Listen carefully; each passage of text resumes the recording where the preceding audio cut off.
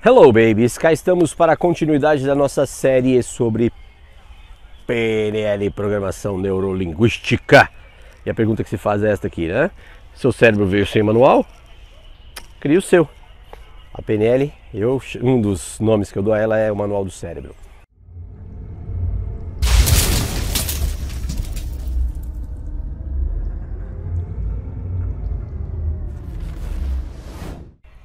E sigamos então aqui com o PNL parte 2. Bom, como você acompanhou no 1, dei uma pincelada ali histórica sobre o início da programação neurolinguística, a criação lá nos anos 70, Richard Bandler, Frank Pucelik, depois John Grinder, na Universidade de Santa Cruz, na Califórnia, Universidade da Califórnia em Santa Cruz.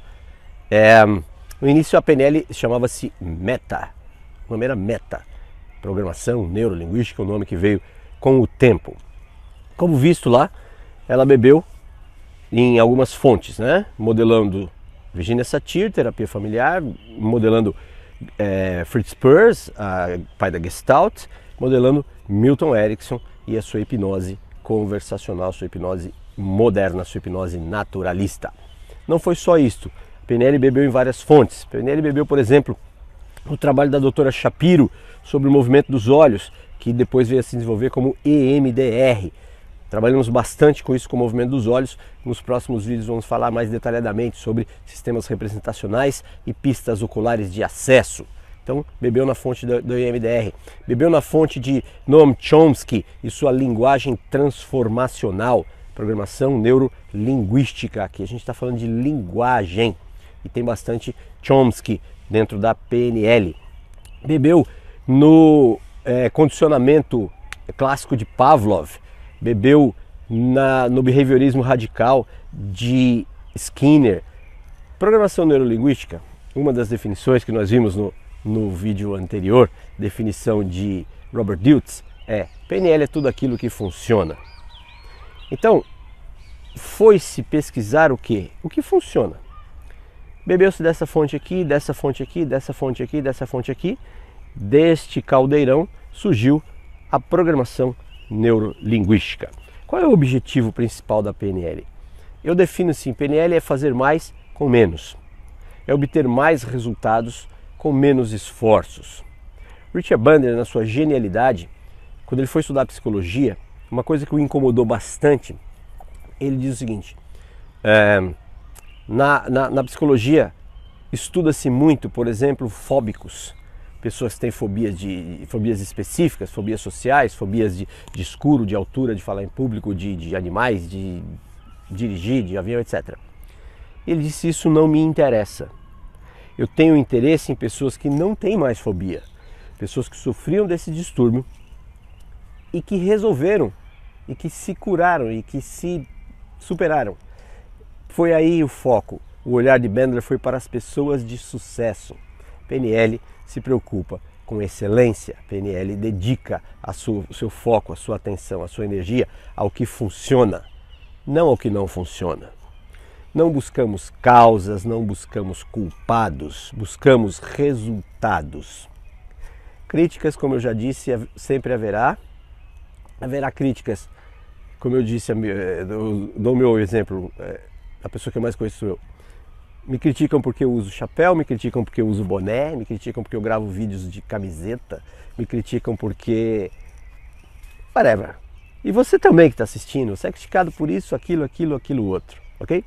Uma das críticas da PNL é isso. Tratam apenas de sintoma, como se PNL fosse terapia. PNL não é terapia.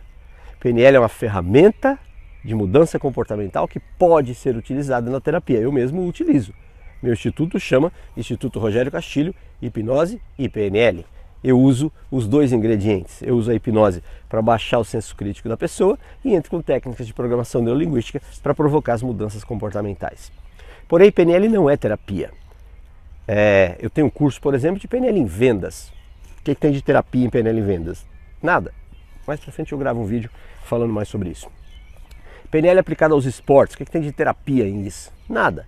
Eu tenho uma atleta olímpica, Priscila Estervou Carnaval, minha queridinha, disputou Olimpíada no Brasil, é campeã, multicampeã brasileira, sul-americana, mundial de BMX. eu, tra eu, eu, trabalho com ela, faço um processo de. Vamos botar o um nome de coaching aí, não gosto muito de usar isso, porque é, virou modinha. Coach virou modinha. Todo mundo é coach. É, eu sou coach. Ou você faz um curso sério numa, entidade, numa instituição séria e tem o título, ou você faz um online e também tem o título. Então, eu não gosto de falar que sou coach. Tem uma atleta olímpica, é, pode se aplicar a, a programação neurolinguística nos relacionamentos, pessoas um pouco tímidas, pessoas um pouco retraídas e com técnicas ela consegue se aproximar das outras pessoas, estabelecer contato social, etc. PNL pode ser aplicada no, na, na, escola, PNL no, no, no aprendizagem, no estudo, na memorização, no foco, na atenção, na curiosidade. Dica: curiosidade é o melhor estado para aprendizagem. Pessoas me pedem técnicas para é, memória, concentração, foco. E eu digo: você quer isso para quê? Para aprender? Curiosidade é o melhor estado para aprendizagem. Portanto, programação neurolinguística não é terapia ok? Pode ser usado. E somos criticados por isso. Sou psicólogo e na academia eu recebia muita, muitos olhares tortos. PNL não é científico. Oh meu Deus, não é. Oh, usei meu palavra, o termo meu Deus aqui. Meu Deus também não é. é pessoas muito acadêmicas, né, muito cérebro esquerdo, temos dois hemisférios no cérebro. O cérebro esquerdo é o mais racional, lógico, matemático. É, tudo para elas precisa ter comprovação. Se não comprovou tecnicamente, fisicamente, não funciona lá.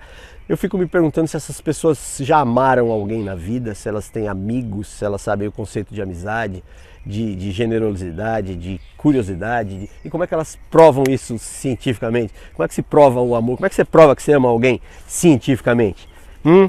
Como é que você prova que está com saudade de alguém cientificamente? Ciência é boa, é ótima, ciência é maravilhosa. Se não fosse a ciência, eu não estaria aqui gravando esse vídeo num aparelho sem fio, sem antena, sem cabo, sem nada.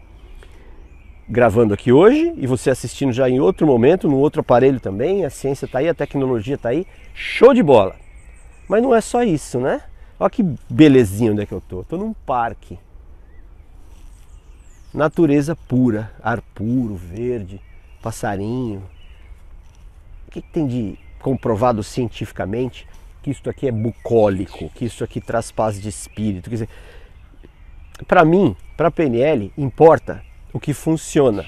Pouco importa se tem comprovação científica, se não tem, importa que funciona, tá bom? PNL é tudo aquilo que funciona. Robert Diltz. É, não é ciência. PNL não é ciência mesmo, tá? Eu recebia esses essas críticas na, na, na, universidade, continuo recebendo. PNL não tem comprovação científica, não tem mesmo. PNL não é baseada em ciência, PNL é baseada em pressupostos. O que são pressupostos? O nome está dizendo, você pressupõe que algo seja verdadeiro e vive baseado naquilo. PNL é amparada em alguns pressupostos. Por exemplo, o pressuposto número um da PNL, que até enche um pouco o saco, que quando a pessoa aprende practitioner, ela só fala isso, só fala isso, só fala isso, justifica todo e qualquer comportamento ou pensamento com esse pressuposto, mas faz parte. O pressuposto é: o mapa não é território. O que é que significa o mapa não é território? Para a programação neurolinguística, mapa é como nós vemos o mundo e território é efetivamente o mundo. O modo como nós vemos o mundo não é o mundo. O mapa do Brasil não é o Brasil, é apenas um mapa. É uma representação do Brasil. Para um mapa do Brasil ser o Brasil, tinha que ser do tamanho do país inteiro.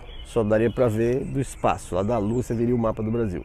E temos mapas do Brasil de diversos tamanhos. Então, o mapa, em programação neurolinguística, o mapa não é território.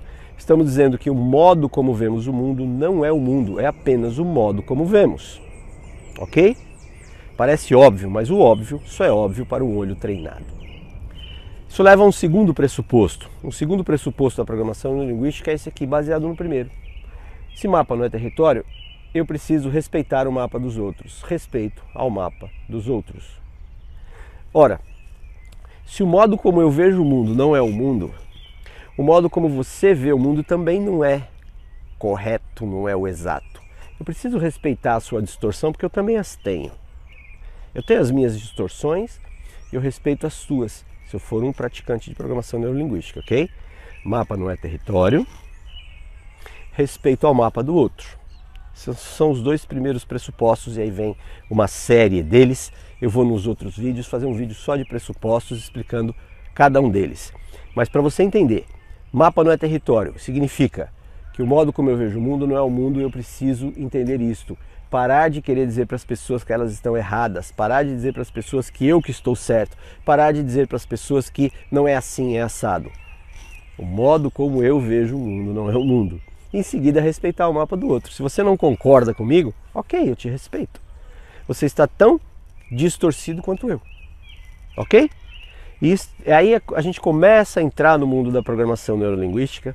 Um practitioner, um praticante de PNL, é muito mais tolerante, briga muito menos com as pessoas, porque ele entende o seguinte: mapa não é território. Curte e compartilha. Passa esses vídeos, parte 1, esse, parte 2, os próximos, para as pessoas que você supõe vão se beneficiar com essas informações. Conheça a programação neurolinguística, aplique, pratique, estude e veja a sua vida ó, melhorar exponencialmente. Seu cérebro vem sem manual? Estamos aí para te ajudar a criar o seu. Até os próximos vídeos. Hasta!